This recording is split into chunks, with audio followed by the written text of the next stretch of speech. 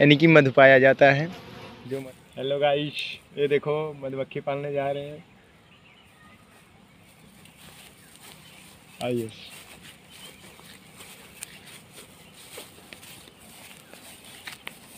ये भैया डर लागत है यार हमारी। देर के बाद नहीं है भैया। येलो कलर के पहन ले नहीं तो।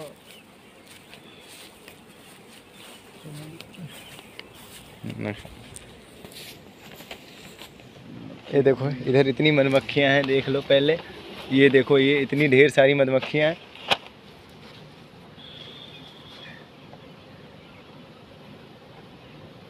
ये देखो, इतनी ढेर सारी मधुमक्खियाँ हैं। ये देखो, इतनी ढेर सारी।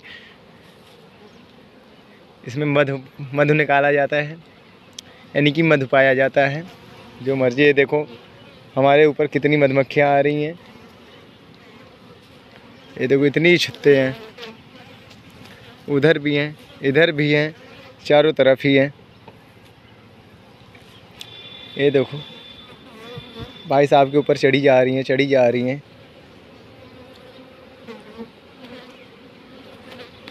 अब इनका ढक्कन लगने जा रहा है।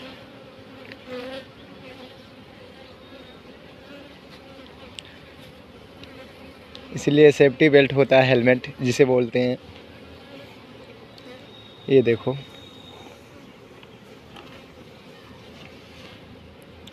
इनका हो गया।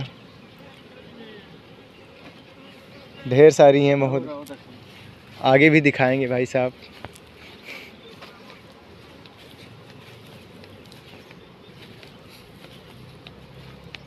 ये देखो। इधर भी देख लो उनका टेंट है। टेंट ये दिखा दें हम आपको टेंट है मधुमक्खी पालन बिहार। अब ये देखो भाई साहब मधुमक्खियाँ दिखाने जा रहे हैं फिर से दोबारा टोल पे। एक बॉक्स और खोलेंगे हमारे लिए सिर्फ़ ये देखो पहले। इतनी ढेर सारी मधुमक्खियाँ इसमें बैठी रहती हैं। ये देखो ये। यह रस आ गया देखो रस। इसमें रस ही आ रहा है रस रस जिसे बोलते हैं रस। ये देखो रस आ रहा है इसमें। आ गया ना ध्यान से देखना रस। ये देखो ये इसमें रस आ रहा है रस। देखो।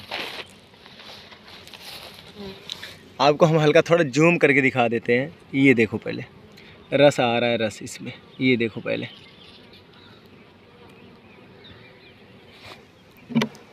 ये देखो ये। आल है हल्का हल्का आ रहा है। ये कितने दिन ए- ये लग, ये लमसम कितने देर में हो जाता है? हैं? कितने देर में? वही तो एक हफ़्ता लग गई एक हफ़्ते में? मधुमक्खियाँ अपना वो भर देती हैं मध से? चलो ठीक है। मौसम जैसा रहा है। मौसम के हिसाब से होता है। धूप खिली रहे तब है?